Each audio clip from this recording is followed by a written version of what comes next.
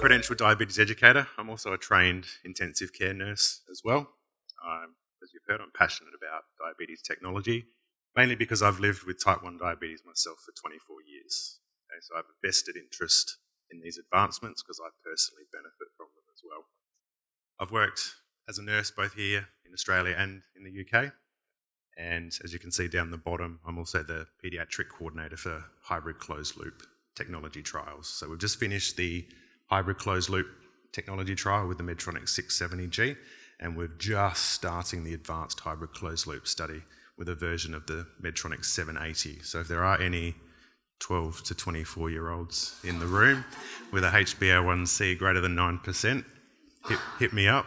Uh, you might be eligible for the study. Okay, so you heard a little bit about Banting and Best just before. As I tried to dress in blue as well for World Diabetes Day. so insulin was discovered, I've said 1921, did say 1922, so some contention already. Uh, it was first, insulin was commercially produced in 1923, and it was initially extracted from bovine and porcine pancreases, so pig and cow pancreases. And that was the main form of insulin until the late 20th century. Uh, we got human insulin, uh, which is made with recombinant DNA technology in the 1980s. And up until the 70s, the main way of measuring blood glucose level was via urine dipstick. Okay, so we've seen advancing technology. We've got blood glucose monitors, we've got advancing pumps, and we're moving into continuous glucose monitors potentially taking over. Little fun fact for everyone the first person or child in Australia to receive Australian made insulin was just over the river, up the road at the Women's and Children's Hospital. Little six year old boy in 1923. So we do pretty well in South Australia. We have come a long way with technology in the last 40 years. So, just looking at insulin pump therapy, the one on the left, your left, was one of the first insulin pumps. Okay. Nice small little thing, just a, a backpack. um, so, yeah, just strap that on and off you go. It needed intravenous lines in your arm, so it wasn't subcutaneous like current pumps. And now we've got these little devices that can fit in your pocket. So the technology has advanced considerably over the last 40 years. And I think if you were diagnosed today, you're, you're quite fortunate because we do have quite, quite good technology available to us to, to manage diabetes. There's lots of tech, okay? I need to limit what I'm talking about, and generally, this presentation is just going to be a brief overview for everybody. I am not going to be delving into a lot of detail, otherwise, you'd be strapped to your chairs for hours. What I'm going to focus on mainly is pumps, CGM and flash, and artificial pancreas or hybrid closed loop technology. I like to throw this slide in uh, just because I personally feel the media has a lot of sway with people and their expectations of technology. So it's important, the orange line's reality, and people with high expectations are often quite disappointed with technology. It doesn't meet their expectations. Those with modest expectations do tend to do better uh, and are happier with the technology. So, one of my roles as a CDE is to help modulate people's expectations and align it, their expectations with the reality of what the technologies can deliver so they're not disappointed. Now, we also do find people who haven't learned maladaptive behaviours, and I don't know I'm guilty of this as well fake carbing, uh, rage bolusing, those sort of things. Don't tend to do as well with new technology because we've got to unlearn those maladaptive behaviors before we can actually use that technology appropriately. And we're really seeing that with hybrid closed loop technology because we're letting the pumps take over some of the work or do a lot of the work for us. We're having to take a step back, and some people do struggle with that letting go. So, continuous glucose monitoring. I don't know how many people in the room are familiar with the technology or use the technology. A few hands popping up. Yeah, oh, quite a few. Very good, very good. So, this hopefully isn't new uh, information for you, but generally, the way I like to talk about CGM technology is when you eat some carbohydrate, Your body breaks that down into glucose, and that glucose moves into the bloodstream. You can then measure that with a blood glucose level. Okay? So as you can see, the sensor sits in the interstitial space. So it does take a little bit of time for that glucose to move from the bloodstream into that interstitial space for it to be read by the sensor. Okay? It's just a limitation of the technology. Now, a lot of sensors or sensors have become more accurate over time. Now, if anybody remembers back to the first Medtronic sensor, the, the real time, it was a beast of a little thing, almost took up half your tummy with the transmitter. Um, they weren't very accurate, but as we've expanded over the last five, ten years, we've got sensors now that have a MARD. They're approaching 10 or less than 10%. Okay, so a MARD is a measure of accuracy. Blood glucose level MARD ranges from 5 to 20%. So, and a lot of modern CGMs now have a MARD of less than 10. So we are talking about these devices being quite accurate. Okay. Now, we are on the cusp of CGM replacing blood glucose monitoring, just like, as I said, in 1970 when blood glucose monitoring replaced urine, test, urine glucose testing. Now, the other important thing to mention is a lot of these new CGMs, because they're so accurate, they are able to drive these uh, hybrid closed loop systems as well. So we're relying on these sensors to augment the insulin delivery for us. Okay, so we do need to know that they're accurate, and, and they are. So, what are some benefits of continuous or flash glucose monitoring? Big thing is the benefits relate to how often you wear it. So, we need to wear our CGM roughly 70% of the time. This is what the literature says to get the benefits from it. Now, I liken CGM or just glucose monitoring to wearing a blindfold. So I don't know if anyone's seen Bird Box on Netflix, but that's my little reference there. So currently, or those that self-monitor blood glucose level, you've literally you're wearing a blindfold. You take that blindfold off, you measure your glucose level, you're putting a blindfold back on until you do that next blood glucose level. And you have no idea what's happening in between. Those blood glucose levels might all be in, in target range, but you don't know if you're bouncing up and down in between. Okay? The benefit of CGM technology is it's going to show you the whole picture. You're going to get a reading up to every five minutes, so that's 288 readings per day. That's a lot of information. Now, I feel the benefit is in seeing. So if you see something, then you can do something about it. If you fix something, then you can, as a result, get improved glycemic control. Okay, so it's quite powerful, this technology. Now, we do see as well a greater hemoglobin A1C reduction if you start with a higher HbA1c. So if you start with a HbA1c of, say, 7, you might see a modest reduction, say, down into the high sixes if you use CGM technology. If you start with a HbA1c of 10, you might see a reduction, say, down to 8%. Okay, so the, the benefit is greater if your HbA1c is higher.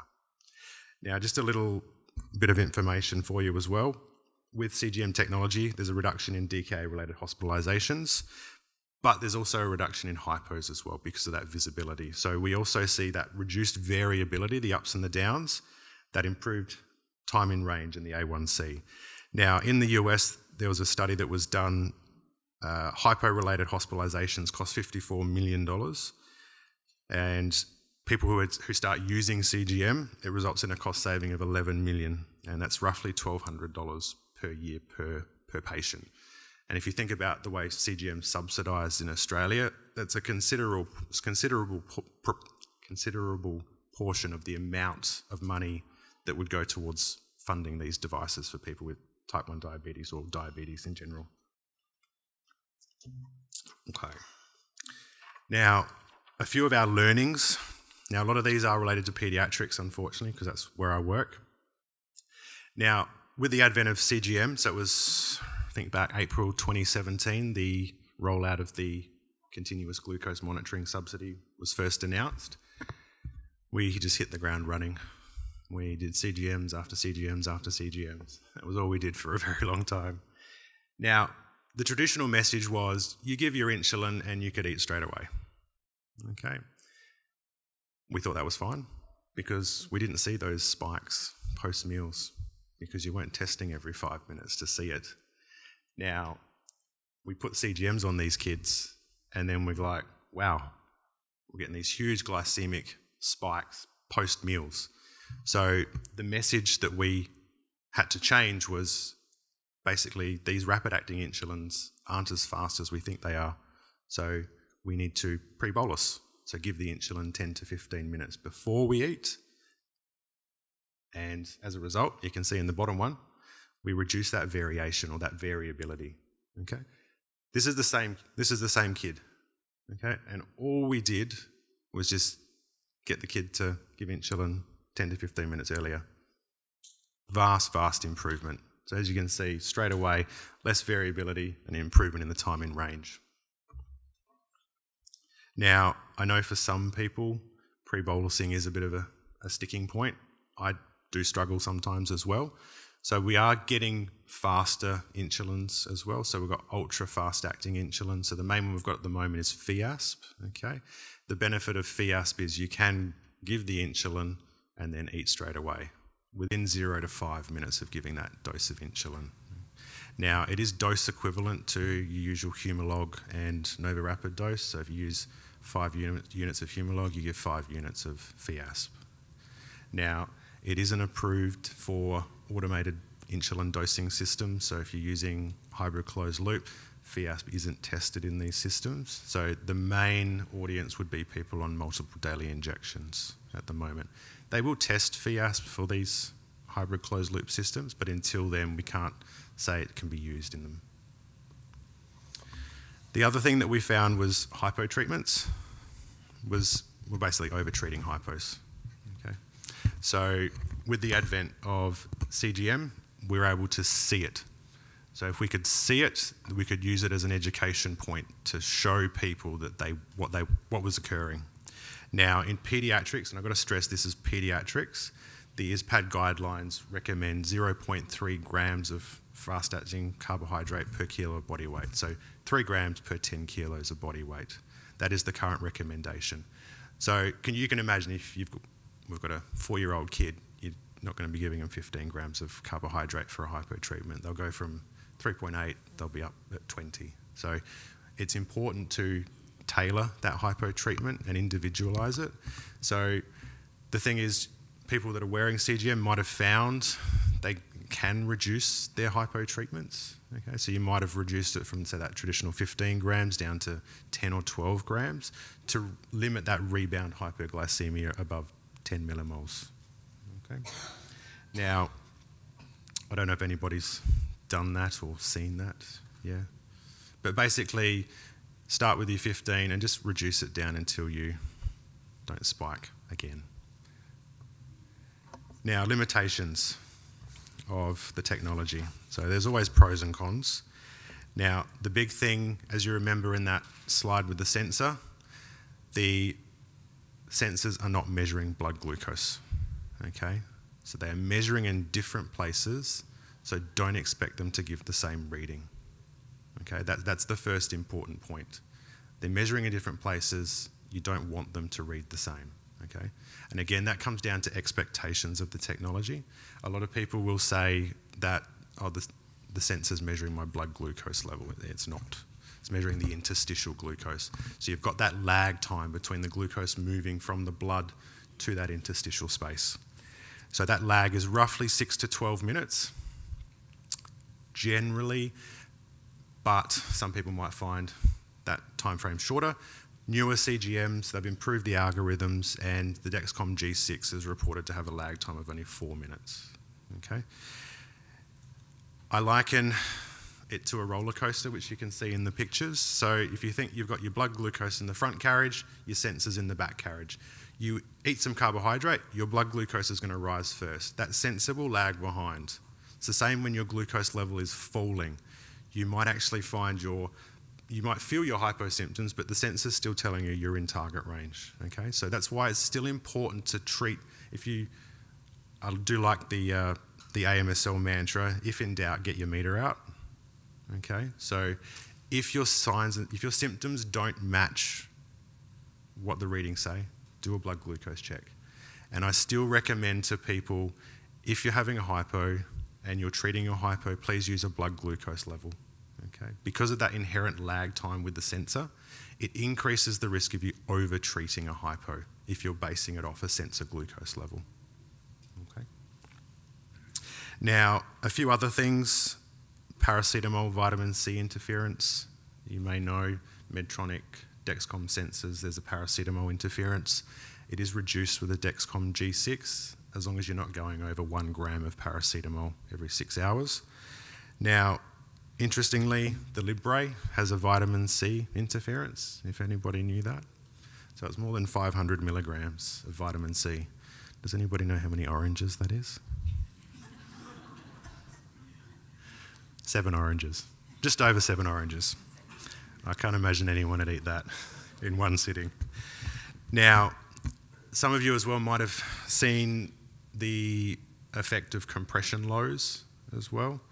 So the glucose concentration in muscle is lower than the interstitial space. And if you have a, a sensor, say in your arm and your, your bottom or arm, tummy, wherever it is, and you lay on it and that sensor is pushed closer to muscle, you see this sharp drop in the glucose or the sensor glucose.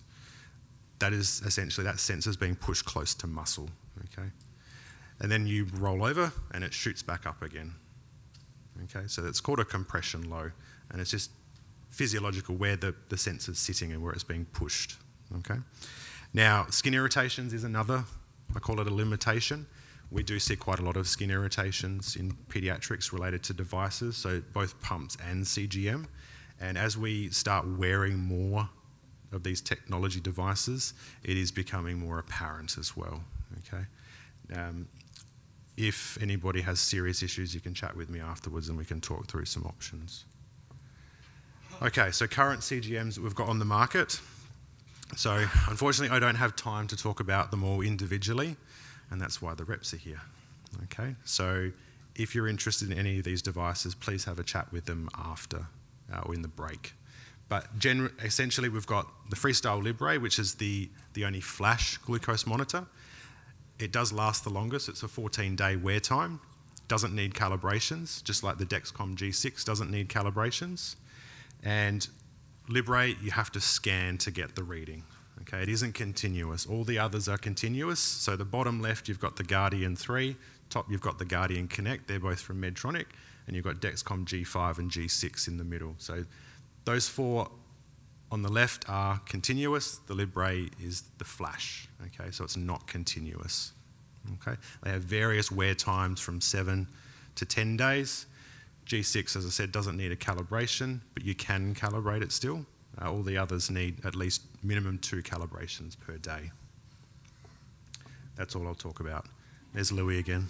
Okay, just in case I was losing anybody. That was the day we went swimming. okay. So, time in range. Now, some of you may or may not have heard of time in range.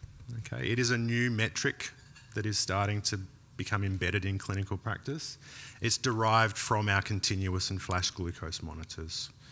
Now, as you can see in the picture, our aim is to spend roughly 70% of the time between our target range of 3.9 and 10 millimoles per litre.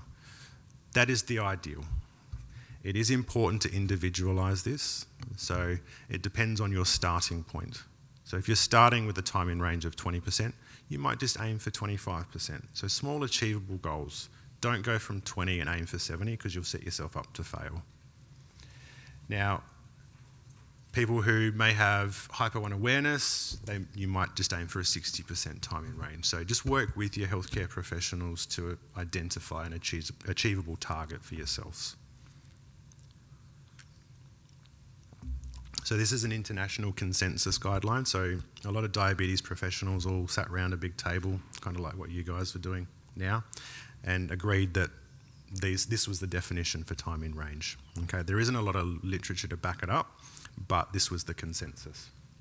Now it's also important to talk about the time above and below range as well. Time above range, we want to spend less than 25% of our time above 10, and ideally less than 5% above 13.9. Okay, so that's our extreme hyperglycemia. Also, our time below range, so less than 4% below 3.9 and less than 1% below 3.0. So, most of you are familiar with hemoglobin A1C. So, is there a link between the two? Now, with this slide, Beck and colleagues, they reworked the seminal DCC trial data. So, it was a massive, big study uh, back last century now. And they basically looked at complications from diabetes management. Now, unfortunately, when they did the study, there wasn't any CGM. So what they did is extrapolate the data from the poor individuals who did lots of blood glucose testing during the study. And what they found was that there's an inverse linear relationship, which you can see you've got HbA1c and time in range plotted, and they do follow each other. So there's, there is a relationship between the two. So basically, a higher time in range, you've got a lower A1C, and vice versa. So if you just sort of map it out, high HbA1c, find where a high HbA1c is plotted, it equates to a low time in range, and vice versa. So a lower A1C of, say, 6 will equate to a, a higher time in range. So there is a link between the two. Okay? So which one do we use? okay. Now, HbA1c isn't going to go anywhere anytime soon. Okay, it is still an important clinical measure, but it measures average glucose. Okay, and it is a measure. It's essentially a measure of hyperglycemia. That, that's its function. Okay, time in range looks at everything. It looks at the ups, the highs, the lows, the variability, and the intra, the day-to-day variations as well within that. And as you can see, you can have in the three pictures, you've got three people doing completely different things, but they've got the same A1C because A1C is only an average. If you've got lots of highs and lots of lows, it's going to average out to a pretty nice A1C. But if you've got someone who's sailing along at time in range 100%, they too will have an A1C. Okay, so it only tells tells you part of the picture. Okay, that's why time in range is so powerful because it shows you everything. It shows you your time in range, time above and below range.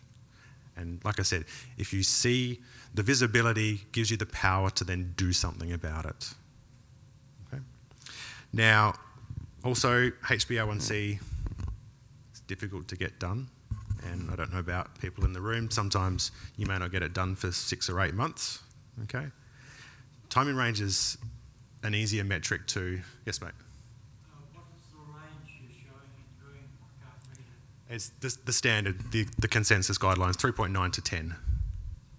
Yeah, yeah. So it is in milligrams per deciliter, just on the side. So it's American, sorry. now, A1Cs are hard to do. I don't know about adult world, but in pediatrics, we can just do a finger prick to measure a HbA1c. A lot of you will still need to do a phlebotomy to have blood taken, which isn't nice. Okay. So time in range is a lot more accessible and it is easier to understand as well. Now, if anybody wants to know as well, the way you convert A1C to an average glucose level, you double your A1C and you're minus six. That will convert your A1C to an average glucose level, if anybody's curious. A lot of people do confuse their A1C with an average glucose. So they think, oh, my A1C is 8, but my glucose level's 8. It's not. Yes? So you, you double the A1C and you minus 6 from it. That'll convert your A1C to an average glucose. So you double it and you minus 6. That'll give, that'll give you an average glucose level from your A1C. You double the A1C and you take 6 from it. Yeah, Cool. So a lot of people confuse their A1C with an average glucose level. So you say, oh, yeah, A1C is 8, my average glucose level is 8. A1C is a, it's measured as a percentage of the average glucose for the last three months. Every time your, your body makes a red blood cell, there's a bit of glucose attached to it. And that's what we're measuring. Those red blood cells last for three months, so we're measuring the average glucose from the last three months. Okay? So that, to convert it to a glucose level, you double it and minus six. So for you guys, you go, oh, that's all well and good, but what does it actually mean? So time in range 70%, you're spending roughly 16.8 hours of the day in target range. And I've got to thank Medtronic for those little snippets that I pinched. every increase in time in range is important. So if you can increase your time in range by 4%, you're spending a whole nother day, uh, a whole another hour in range, and you're spending 15 days a year extra in range. So that'll have impacts on less highs, less lows. You'll feel better too. So improve quality of life. Okay. If you can get your time in range up by 10%, that equates to a rough A1C improvement of 0.8%. Some studies say 0.5, some say 0.8, but it's roughly a 0.8% increase. It is very important to look at the time below range as well as your time in range because that signifies your hypoglycemia risk. So if you've got an A1C of 6.2, you've got 80% time in range, but you're spending 10% of the time below range, you're at a significant risk for adverse events. Okay, so it still is very important to look at that time below range as well.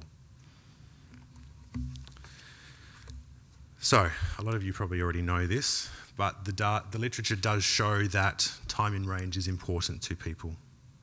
Okay, so we've mapped type, people with type 1, people with type 2 on insulin, and people with type 2 not using insulin and everybody ranks time in range as the second most important thing to them.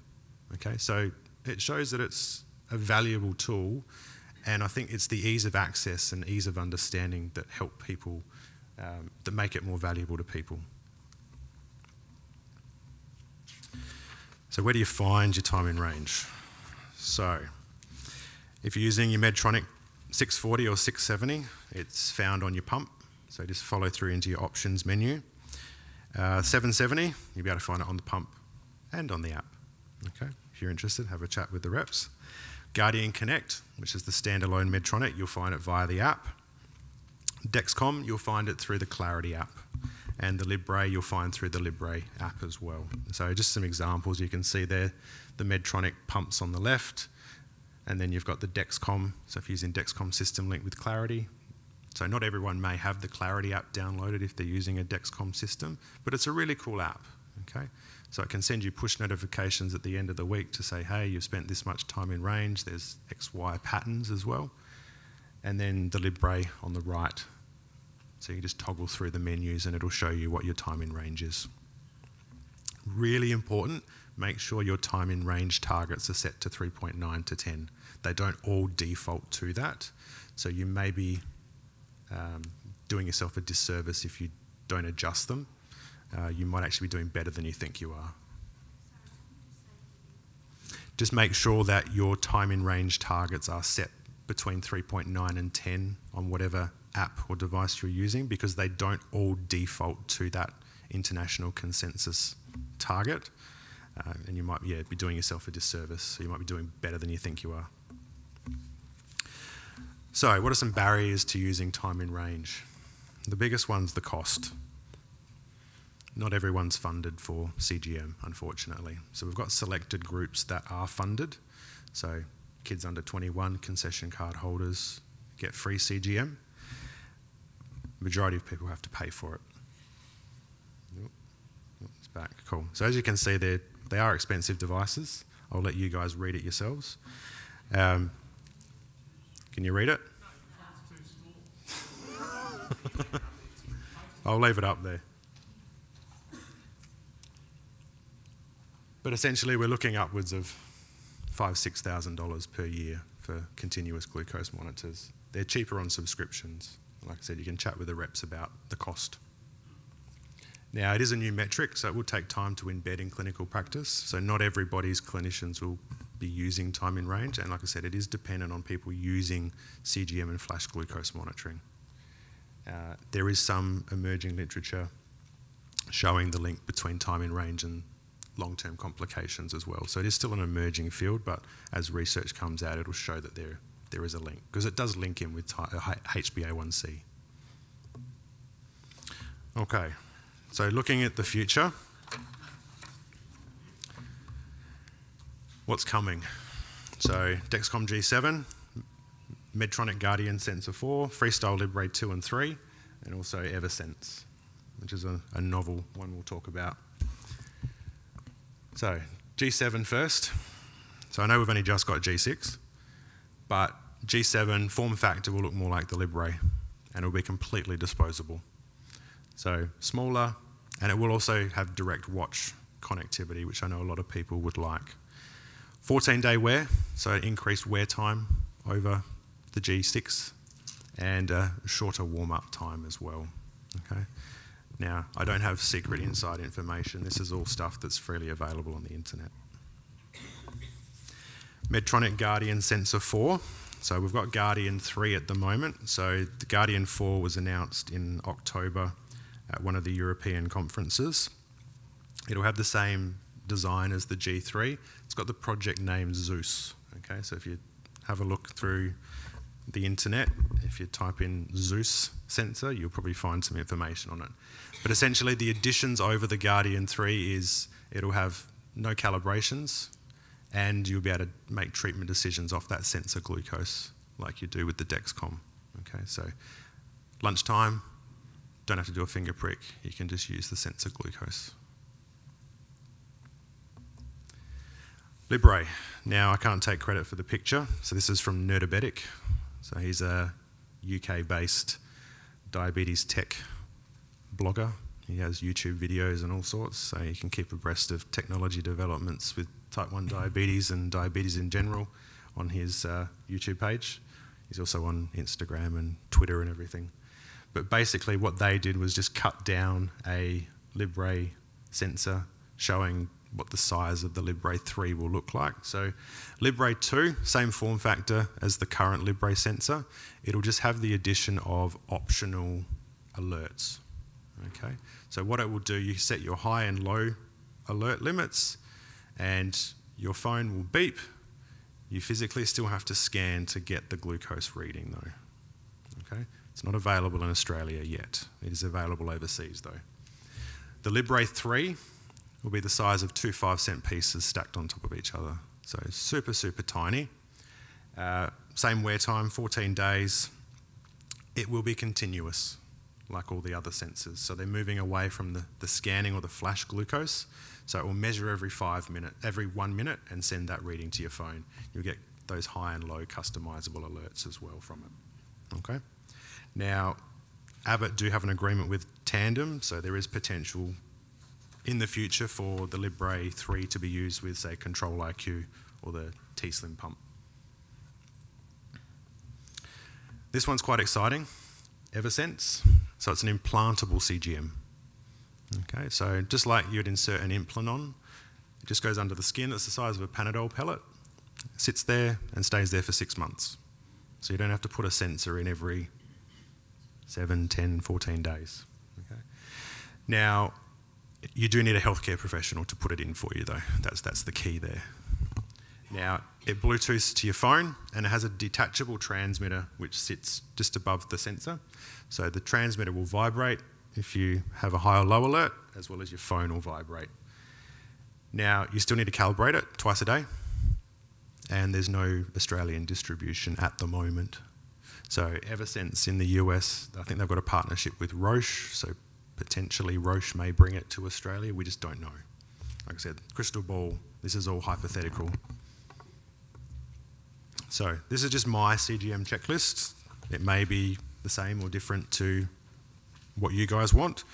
Just smaller, cheaper devices, don't have to calibrate them, they last longer. You don't have to be without your readings for as long, so a shorter warm-up period, which we some of them do have an hour warm-up, which is nice. Accuracy is improved. One press insertion would be nice. You've got to press one button. The insertion on some of the devices can be quite fiddly and complicated, and less irritation from tape, so more biocompatible uh, tapes or stickers. Okay. Okay. So we'll talk about pumps next. The crux of it every pump on, the on that screen there does the same thing. They all do the same thing, fundamentally. They're all pumps that pump insulin. It's just the user interface that's different. Okay, and so it's personal choice. They all have a basal rate. You put a carbohydrate ratio into it, put a sensitivity factor in, you customize your alerts, you change your reservoir, put insulin in, the rechargeable have a battery. You might be curious about the top left corner. So that's the Roche Solo pump. Hasn't really officially been launched in Australia yet, but it will be the first patch pump to come to market. Uh, tubeless, so you're not tethered by a tube. Now, some people know overseas they've got Omnipod, which is a, a patch pump. The reason that never came to market, it got approved but never came to market, was because it doesn't meet the funding models in Australia. So, because it's a completely disposable device, the healthcare funds wouldn't fund it essentially. So, the way Roche have got around that with the Solo is there's a, a durable component and a replaceable part to it. Okay. Now, they've done a soft launch, but it hasn't officially been launched in, in Australia yet. So, to get more from your pump, you've got to wear a sensor, unfortunately. So, when you wear a sensor, you get access to new features. Otherwise, the pumps are blind. They don't know if your glucose is high or low unless you tell it. So they just sit there going, la la la, insulin, la la la, insulin. They don't know what's going on. So you, you add that sensor in, you give the pump visibility. So first generation, we had this threshold suspend, so Medtronic suspend on low. So if hit, you hit a predetermined low limit, it would cut the pump off. Okay, didn't prevent lot of well, reduce some of your hypos, but you also had to turn it back on yourself. Now, the benefits of these this sensor augmented technology, we see with minimal increase in our HbA1c, a reduce reduction in the variability in the hypo risk. So moving on from the suspend on low features, we've got suspend before low. So we've had the Medtronic and now also the T-Slim with the Dexcom G6. So what we do in our clinical practice is with the Medtronic pump, we set our low limit at 3.4. So then if the pump pump's on the lookout for a hypo anytime you drop below 7.3. If it predicts you're going to drop below 4.5 in 30 minutes, turns the basal off. When you're above 4.5 and predicted to be above 5.6 in 30 minutes, it turns the insulin back on for you. So your minimum suspension times 30 minutes, maximum two hours. Okay. Now, the T-Slim with Basal IQ works slightly different to that, and you will likely see more suspensions throughout the day. Now, it doesn't have a customizable threshold for the suspend, unlike the Medtronic. It literally, if it predicts you're going to be below 4.4 in 30 minutes, turns the insulin off for you. Okay. The, the cool thing though is you tend to see less rebound hyperglycemia because let's just say your glucose was 3.9 if the next glucose level was four, it turns the insulin back on. So the minimum suspension time's five minutes, maximum is two hours in a two and a half hour period. So you can sit there, suspend 3.9, next glucose is four, turns it back on. The next one's 3.9 again, it'll turn off. The next one's four again, it turns back on. So it can toggle on and off, minimum five minute time, time frame. Yes? No, no, you're right. Yep. Yeah, yeah. So you only use short-acting, rapid-acting insulin. So there's no Lantus or Optisulin, as it's called now. Uh, you literally drip that fast-acting insulin in over the whole day. Yeah, and some of them, the hybrid closed loops, they can automate that delivery for you. Okay, but no, good question. Okay, next thing we'll talk about is the hybrid closed loop technology. So the Medtronic 670 was the first to market. So it's the first commercially available hybrid closed loop system. It uses the Medtronic Guardian sensor. The pump controls the basal rate and it controls the sensitivity factor. The only two things the user can adjust are the carb ratio and the active insulin time. Now, this technology, it targets a glucose of 6.7, and you might say, oh, that's too high. 6.7 equates to a HbA1c of 5.8, just to put it into perspective for you. So you're not going to see a flat line. That's an unrealistic expectation. But literally, the glucose level goes up, it gives more basal. Glucose level drops, less basal or no basal. So it reduces the variability, increases the time in range. That's the aim of the technology. Now, it has that fixed target of 6.7. Uh, the correction target's 8.3. So some people do find when they're giving a correction, the dose is smaller. It takes longer to come back down into target range. the reasoning behind that is we're trying to reduce the variability. So you, you don't want to go from one extreme, be high, and then cause a hypo. So the corrections target 8.3, and then the basal takes over to gently drop you back down to that 6.7 target. That's its aim. Now, we've just had the 770 released, and if you're interested in that, you can have a chat with the reps. Same algorithm as the 670, just the addition of Bluetooth. So the parents in the room will be happy with this. It allows follow, it's got a follow feature, okay? So you can follow your kids via an app.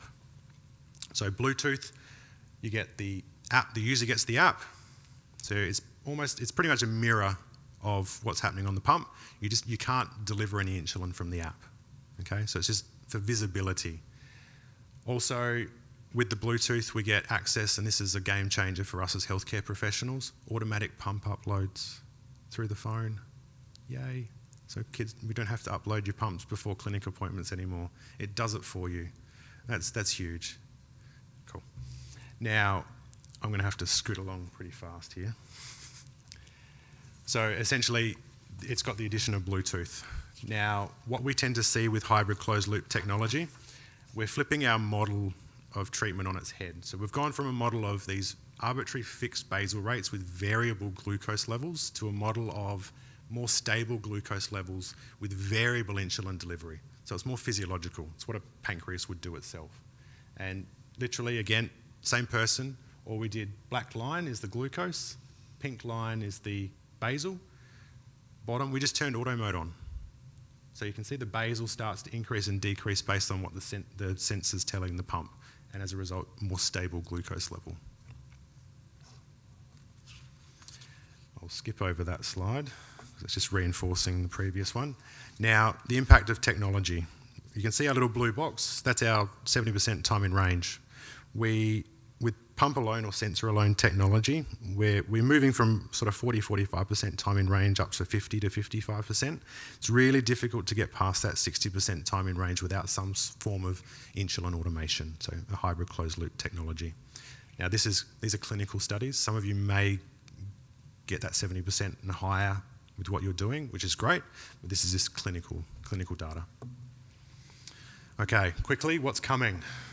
So we've got Control IQ, with the T-Slim. So it's got TGA approval, it's got prosthesis listing very recently. There's no release date yet, but essentially it's going to be similar to the Medtronic Auto mode, but it'll also have automatic corrections uh, every hour if you're above target. Now, it doesn't have fixed glucose target. It has fixed glucose target, so it'll aim for 6.2 to 8.9. If the glucose is going to be above 8.9, it increases the basal. If it's going to be below 6.2, it decreases the basal. If you're going to be below 3, it will suspend the insulin. And if you're going to be above 10, it will give you that automatic correction, dependent on G6. You still need to bolus, okay? So it's not set and forget. Medtronic 780G. Now, this is essentially what we're going to be doing our study on. So it's the next advanced algorithm from Medtronic. So it uses Israeli uh, AI tech. Now it's got a customizable glucose target, so you can go 5.5, 6.1, 6.7. Corrections will target 6.7 and not 8.3. And it can give an automatic correction every hour you're above target as well. Okay. Now, just to show you, I did some snooping on Facebook. This was someone in America. They had 60 grams of carb, didn't bolus, went up to 13.9, and with those automatic corrections, the pump was able to bring them down. They didn't actually bolus I can't encourage that, but if you do struggle with bolusing, you might find this sort of technology quite useful. Okay. Now, just quickly, dual hormone pumps. So, a lot of the pumps we see at the moment are single hormone, so insulin. But type 1 diabetes, we see insulin deficiency, but there's also inappropriate glucagon secretion. So the, you will see some pumps coming out which have dual hormones. So we use insulin to lower the glucose, glucagon to raise the glucose. Okay, they've been limited by uh, not having a stable form of glucose. And they've got this new form of glucagon called uh, dasiglucagon, which they're doing some phase three trials on this year. So hopefully this sort of technology will be available within the next couple of years. There is no release date for Australia at the moment. Okay, Oop. pimp your pump. Okay. Now, we're moving towards interoperability, so we're going to have pumps where you can literally, and technology where you can pick what you want and whatever meets your needs, and it'll all work together. So we're going to have these new device classifications, iCGM, ACE pumps, and I algorithms. So iCGM, the only one at the moment is the Dexcom G6. But literally, as I said, think about it. You might have a Medtronic pump running a Tidepool loop control algorithm with Dexcom G6 in an ideal world. The reps may not be happy about that, but um, it's going to give you guys more choice, essentially. So you've got to pick what meets your needs. Now, I'll talk briefly about DIY technology because it's out there, people do use it. It has faster innovation because it doesn't need to go through regulatory approval. Now, there's three main branches of DIY. We've got Loop, we've got Android APS, and Open APS. They all do similar things, but they're essentially hybrid closed loop systems. So the key is they're experimental. You have to set it up yourself. We as healthcare professionals cannot endorse or promote the use of these technologies, but if you do use them, you will still receive your routine care in the clinics that you, you see your healthcare professionals, but we won't be able to help you troubleshoot or uh, the use of the device or the system is up to you guys. Okay? But they do use existing bits of technology, old Medtronic pumps, iPhones, and RileyLinks for the, for the loop system. Okay? If you're interested, there is a Diabetes SA position statement on their website regarding DIY tech. And finally, diabetes therapy and technology advances have improved outcomes over the last 20 years, but the work to achieve these outcomes hasn't yet reduced, and we may have actually increased the workload in the interim. Our next challenge is to uh, reduce the burden by closing the loop with these hybrid closed loop technologies. And I like to think of diabetes as a very, it's an inherently unstable condition, and it's like playing golf, but you're expected to hit a hole in one every time. Okay? And hopefully tech will make it easier for us. That's it, guys. Thank you.